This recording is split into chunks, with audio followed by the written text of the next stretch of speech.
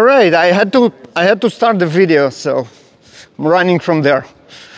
Okay. All right.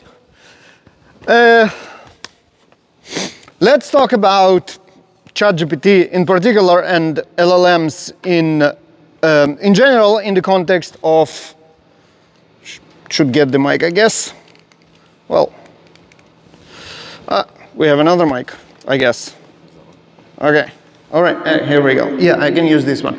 In in the context of um, developer productivity right? So how I learned to stop worrying and love the AI.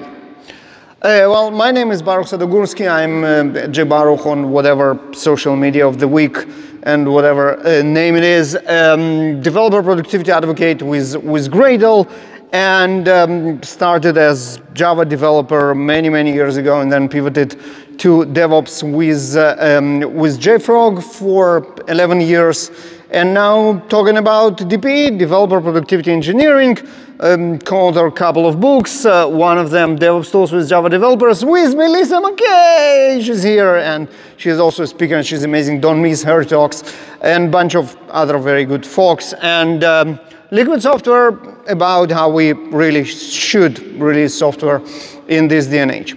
So um, in any way, the most important slide of this talk is this one. To go to speaking.jbaruch, you will find a page dedicated for this talk. Um, I will show it to you in a second, and it has the slides already there. It has the video, hopefully I record, um, and if not, we have the, the organizer's backup they claim that they record, so let's trust them. Uh, all the links, there will be a lot of stuff that should be linked and all the links are there. Um, very easy to remember this URL because it's on the bottom of every slide together with um, my handle and the hashtag of this conference, by the way, um, and uh, DPE, DPE for Developer Productivity Engineering. All right, so um, what I want to do in this talk so first of all, disclaimer, it's not going to work. Um, I don't know, you, you, don't see a lot of live coding trying to do stuff with, with LLMs and especially with, with ChatGPT. Uh, for a very good reason, it doesn't really work. Um, what I'm going to do won't work as well, uh, but we're going to do our best and we're going to see what can be done in order for it to hallucinate code a little bit less. Um, so we will start with general questions about developer productivity engineering. What is developer productivity engineering? Why we want to improve it? What can be improved? And, and let's see how that works. And from there, we're going to take it um, up a notch. And this where it's going to be fun. How that worked? Ah, here we go. All right. Does it fall? It does. Okay, ah, here we go. Ah, ah, not Okay. All right. Um, uh, you see my slide? Yeah, so um, as I promised, this is the speaking.jbaruch. You can see here the larger presentation is for our presentation for, for, for now, but what I need is my ChatGPT. Okay, so um, I'm a subscriber for ChatGPT Plus or whatever it's called, so I can use the latest features that we will need today, and we will start with something uh, easy. We will start is, uh, uh, not in Russian, what is DPE? Okay, let's see what, what goes. Um, developer productivity engineering, hey, it knows about the acronym. Uh, field focus on improving productivity, blah, blah, blah. Excellent, fine, thank you very much. Um, and that was great. Uh, how can I improve? Okay, so this is all very naive stuff. Okay, optimize build and test times, great. Use tools like Gradle or Maven for official build manager, it's, it's way too small. Why are you not telling me that you cannot see anything? Here you go. Uh, optimize build and test times, automate repetitive task, continuous integration, continuous delivery, monitoring and analytics, code quality tools, collaboration tools, etc. Okay, so whilst run, I, we're going to actually try and improve um, build times in a real project. It's not a real world project, but it's a real project. It's a Java project that has tons of uh, very not useful classes like this. and tests that don't test anything really like this, but they do run and take some time. So um, yeah, I'm going to run it, um, build a clean, uh, okay, clean build. I'm going to run clean build and um, it's going to run for like a minute, I guess. Um, yeah.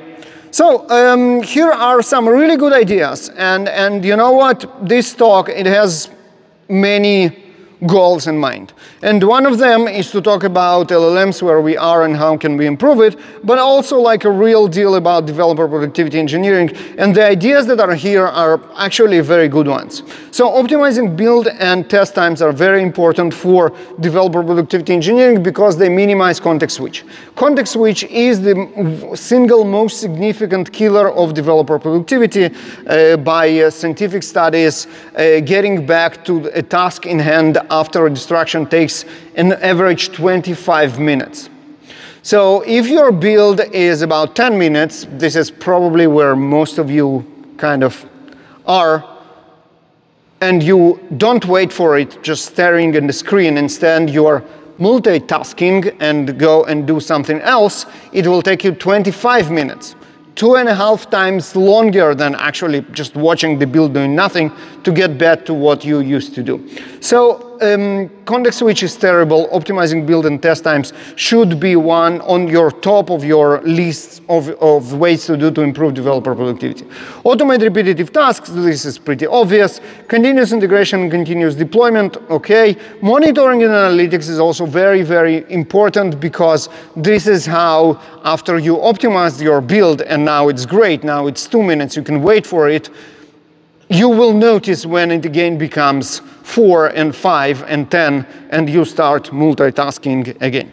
Collaboration tools for sure improve communication and collaboration with the team using good tools. I don't know if we can buy in on this list, um, but uh, better tools. So instead of coming to a colleague and trying to explain what went wrong, if you can send them a meaningful link, to a line in the build output showing what's wrong, it's actually much better, right? Work environment, yes, for sure. Um, you know what open spaces do to people, so yes. Um, and focus on developer experience, of course. So those are very good ideas. And uh, let's see, by the way, it was all multitasking to wait for the build. The build is actually 56 seconds. I spent like, what, five minutes waiting for a minute build. If you were just sitting and staring at the screen, it would be much more efficient, but you probably would get bored. So anyway, 55 seconds, not terrible, not great. Um, yeah, so um, let's improve a build. Uh, what do we have? Java monolith, right? Uh, build with Gradle. Uh, Kotlin DSL. Okay, let's see what's going on. Okay, incremental builds. Ensure your Gradle build is optimized for incremental builds. That means that Gradle only will recompile and process changes since the last build. Great. Build cache, utilizing Gradle's build cache. Very important. Parallel execution. Enable parallel execution in your Gradle build to take advantage of multi-core processors. Very important.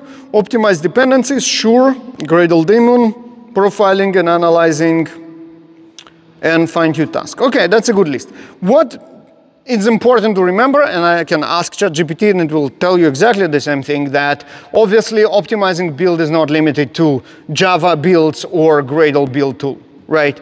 You can do most of those things with other languages and other build tools. We can do it with Maven, you can do it with SBT, you can do it with Bazel, and you can do it on stacks which are entirely not JVM. It doesn't really matter. I just happen to have an example built in Gradle because you might guess why, but uh, really it doesn't, it doesn't really, it doesn't really have to be Gradle in any shape or form, right? So this is a nice list. And now we're getting to an interesting part. Um, you know what, before we do that, let's switch back to the slides to, for a second. right? So we asked stuff like what productivity engineering, why do we want to improve it, and what can be improved. And basically the answers are developer productivity engineering has improve our overall developer experience. The build is a good place to start. As I mentioned, it's not only Gradle, it's any other build tool, and it's not only the build, we spoke about other aspects as well. Okay, now we are coming to where it is interesting, and this is the code. So, um, show me the code. Let's see what it can show us. Uh, okay, so build.gradle, okay, this is, I already have Java project, but okay. This is actually funny enough, exactly the build grade, the build that I have. So, wow, this is impressive. Uh, impressive. So if I look at my build Gradle, uh, where is it? Here it is. It actually looks exactly the same. Java library, Maven Central, couple of dependencies, and tasks and tests. It's exactly the same thing. Wow, this is nice. Gradle properties. Caching through, pile through, daemon through. This is nice. I can just take it all there and go ahead and just dump it here. And we'll see if it works. Um, root project I already have. Okay, so let's see if it helps somehow. I don't want to wait for two minutes, for like the entire minute, but yeah, it still runs all the tasks, tests, although we didn't change anything, so that's not great. Um,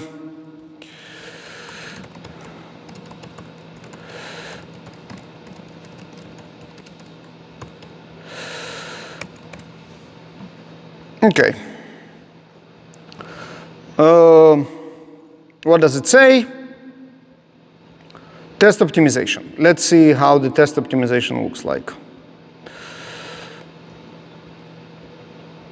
Okay, this is nice. So what it says is you can parallelize using all the available processors. This is a nice line. So let's do that. Let's see how that works. Uh, in build, right, right here. Uh, okay, it still took 55 seconds. We shaved five seconds out of the build. Nice. Definitely not enough. Now let's run it with, with max parallel forks. Still runs the tests. Wow, six seconds. Okay, folks, now I remember I told you the show notes is the most important slide. This was the most important moment. You know why? Because I just taught you how to justify Max Pro M3 purchase from your employer. I took the build from 60 seconds to 6 seconds just by utilizing the power of my local machine. That was nice. Okay, still not what we want, right? So uh, the tests are so much faster.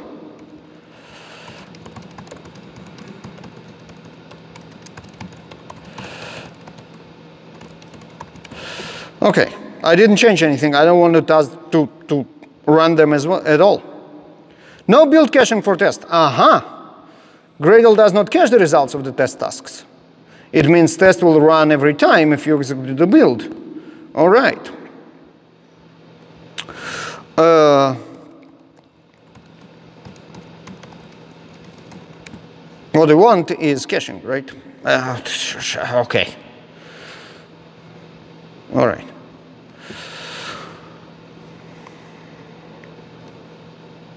Okay, how do we test it?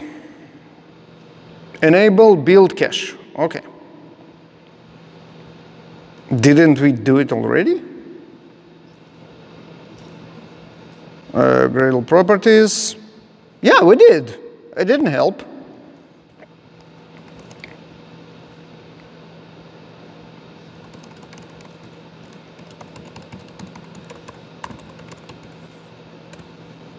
What's going on? Why it didn't?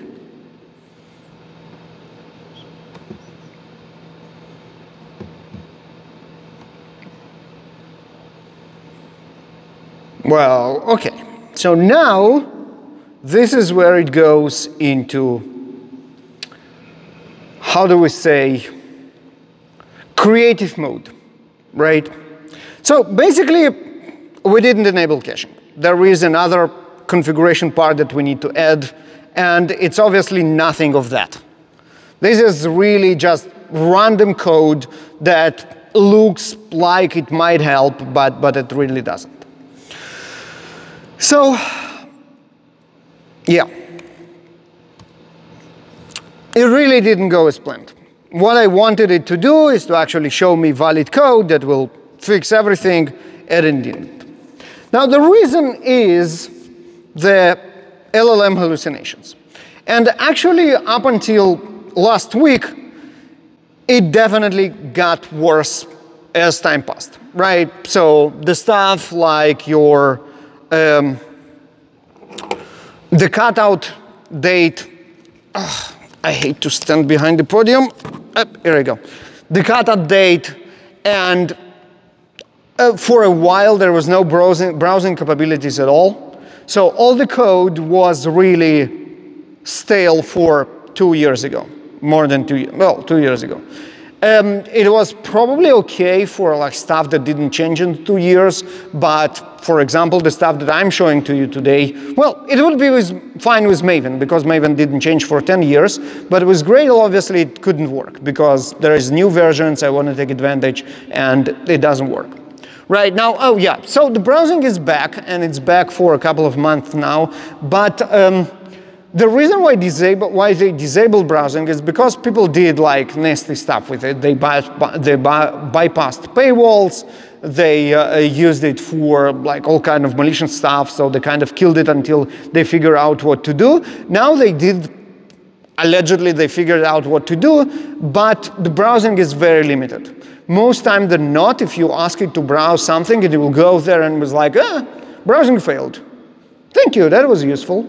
So there are third-party browsing plugins that stepped in when ChatGPT disabled browsing, but they're also very, very picky on what they can and cannot read. There is like a page structure that should be supported, and if it's not, it just will give up on that as well. Now, this is all was true for last week, and um, then Open uh, Dev Day of OpenAI happened, and, and basically, apparently, it's now all the way up to, I think, April 2023, which is much better, obviously, and browsing should actually work. So it should be better, really. Now, the way you add your content to up-to-date content to ChatGPT is through what's called the embedding plugins. The idea was you set up your own vector database and then you feed custom data into it and then you teach ChatGPT how to use your vectors using a standard ChatGPT plugin. The problem with that is that, I don't know how about you, I sign up for the ability to create and publish plugins with ChatGPT a year ago when it was announced. I'm still waiting. They still didn't get the invite. Um, so that's also kind of not a way to do it. But you know what? Maybe we don't need it anymore, and I will show you why. The way to publish kinda your own plugin was using third-party services like Mantium AI, and they encapsulated all that. They have um, already published plugin that is separated within by apps, and then you can publish your own app, which will basically take your own material and publish it within the plugin once you um, sign into it. But not anymore. Instead, we had the dev day, and basically they killed a bunch of startups just by announcing stuff, including Mantium. Well, I hope they will manage to pivot because they stepped up when needed. But now we actually don't need that at all because what we have is GPT builders. Custom GPTs for we can, now all of us can do it. And the way it works is you add your sources to the custom GPT. You instruct custom GPT to use only the sources, no hallucinating anymore. and then it should work. That's at least the theory. Let's try it again with custom GPT. All right, so, okay. So um, this is my custom GPT. And let's go. Oh, yep, thank you. Someone pays attention. This is my custom GPT, and let's go to edit, and I'll show you how it works. So basically, the idea is that this is the, the UI for creating custom GPTs. It asks you um,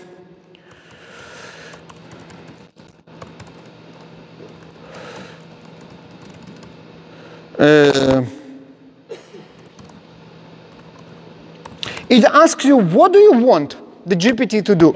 And you can answer stuff like, for example, I wanted to provide up-to-date documentation for Develocity a Gradle product. And if it works, maybe it will show me how we configured this particular GPT. Basically, if it doesn't, I can tell you. Uh, but let's see. Oh, huh? Ah, yeah, okay, but it figured it out, great. Okay, so basically we set it up and we started by defining the code, uh, the core identity and the purpose of our Develocity helper. It was designed as support engineer, specially, uh, speci specifically for Develocity, formerly known as Gradle Enterprise, and we, I told it how it should provide detailed, accurate, and current information related to Develocity. Now there is a trick here um, Develocity is a new name for a product known as, formerly known as Gradle Enterprise. All the documentation still says Gradle Enterprise. And when I didn't mention it, it was hilarious, the hallucinations. It actually came up with an entire DSL for a product named Develocity, bunch of code that does not exist because it's all old names in the documentation. So I tell them, okay, refer to the, velocity, but in the search, actually use Gradle Enterprise. And then I told it, okay, the most important part is here. Use the documentation that I provide and only use this stuff. So it's somewhere, somewhere here. Uh, based on our feedback, and yeah, here. Um, so basically, updates to its knowledge base. This is where I upload the documentation. And um, enhancing capabilities, basically, I told it only use the documentation. Now, this is all pretty amazing of how it works, because you use uh, ChatGPT to create a new ChatGPT. And you work with it in like, for example, if you go to Mantium, it will only very well like will be your traditional creating stuff. Like, so you will have the UI, it will tell you here, upload our files, and here are a bunch of options that you can configure and what's not. Here, it's something else. This is a, a large language model. You configure your new language model using large language model. It's actually very, very nice. So basically what you see here is a summary of what I told it to do, and it was pretty impressive.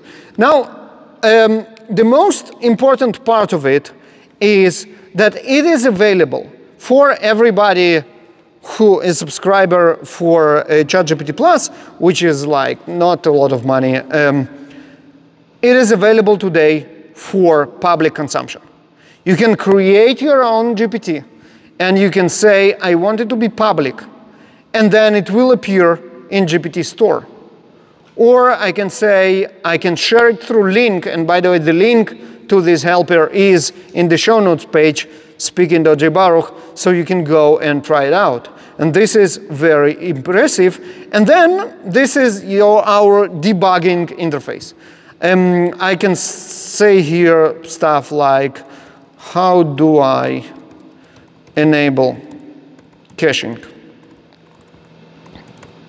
Caching, not chashing. and um, it will try and, oh, it renamed it to, well, okay. So basically now, the question of our history of creation became part of the GPT itself. Okay, let's see if that will work. Um, but we can always open a new chat and just work with it here. You can say, okay, here we go. Develocity helper, support engineer for Develocity. Um, how do I enable uh, um, uh, remember how paralyzing tests save us tons of time? You know what had more cores than your Max Pro M3? The cloud. The cloud, someone else. Um, the cloud has unlimited cores, and if we can take your local build to run the tests in the cloud, it will be even faster. Now let's see if that works. Um, remember I told you no one does that because it doesn't work? Here you go. I'm the one who does it and it doesn't work. Well, maybe it will. Uh, one of the interesting announcements during um, Dev Day was that you can actually now create chats by providing a seed. Like you provide a seed for a pseudo-random number sequencer that you can will get the same results every time. You can do the same here. You can provide now, you can create a chat with, not yet, but you will be able to create a chat with the same seed and get the exact same results. I'm going to use it for my talks because now every time it's completely random. I have no idea what will happen and if it will ever work. Um, so yeah, state of ChatGPT for you people. The announcements are great. The ideas are great. It really should work. Maybe it will. Um, let's see how this is going. Well, same. Okay. So the idea is it looks through the PDF files in the knowledge base, and they're not that big, and it doesn't really work. But yeah, okay, here you have it. Great ideas, less than optimal implementation. I actually played with it earlier. You see here today, and actually was not bad at all. So this was again a session with Develocity helper. And it actually provided me here with, let's see, let's see, how to set up a remote cache for Gradle. And it gives me, okay, you do that. This is not a thing. This is a pure hallucination. This is not how you do it. Um, and I'm like, uh, okay, how do you authenticate? And it gave me another piece of code. And this is not a real code. This is hallucination. That does not exist. And this is after I instructed it not to use it. And then I'm like, uh, uh, okay, this is not how you do it. And I'm like, oh yeah, sure, you're correct. Now this part is actually right. So it took three parts to, like three tries to actually get the correct answer. And the only reason why I could distinguish between correct answers and incorrect answers because this is what they pay me to know. So yeah. Well, here you go. Um, any news here? Okay, it's kind. Did you like the answer? okay. Uh, yeah. So let's try it again. We tried it again, and it was whatever it was. Okay. So how can we really improve our build if it, this thing actually worked? It could tell us that we need to enable caching, local and remote. Spoke about local caching to just keep the stuff that shouldn't be built. Remote caching is even more awesome because it can take your state of the project and then decide to skip it because someone else already ran the build. So they will just give you their results through remote HTTP protocol and you will have their results instead of building by yourself. It's obviously very powerful. The most powerful part of it that this someone who can share the results with you can be your CI server. And you know what CI servers do? They build your stuff all the time. So they will always have up-to-date result of the build that you never run. How cool is that? Parallel testing, local and remote, you saw that, that's some powerful stuff right there. Predictive test selection, we don't have time to talk about it because we're out of time completely. Take a look at that, that's pretty awesome. It basically decides which tests to run based on AI. It will monitor your changes correlated with tests and then say, you know what, for these changes, you don't really need to run this test. It will never fail. And this is pretty cool. Flaky tests, again, something to look for and watch for degradations. We spoke about that. Stuff that you can do today for free is parallel local. I just did it and it was awesome. Local caching, remote caching, although you will uh, have to babysit your own node of remote caching if you don't pay, want to pay for something else do, for someone else to do it. And build scans. This is your monitoring and watching for degradations. You also can win prizes for free. If you go to speaking.jbaruch, you will see there what we call a speed challenge. Basically, you speed up your tests you are blown away and you win prizes. How about that? What your company should pay for, I already mentioned. Top level hardware because it will make you more efficient developer that multitask less, have less context switches and do more. And Develocity or similar, if you can find something else, this was how I paid for being here. Okay. Um, Learn more and try today. Uh, the QR code goes to speaking.jbaruch. You will find the Maven Challenge. You will find the resources about developer productivity engineering and the developer productivity engineering handbook.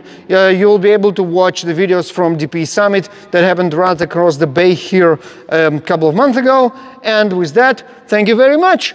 I'm at JBaruch. This is By the Bay and speaking.jbaruch for the videos, the slides, and all the links are there. Thank you.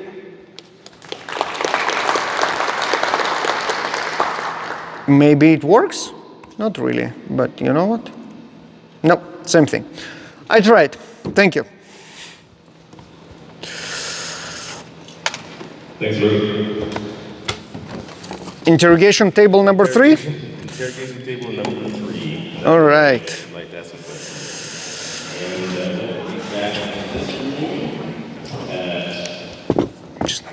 видосик. 130.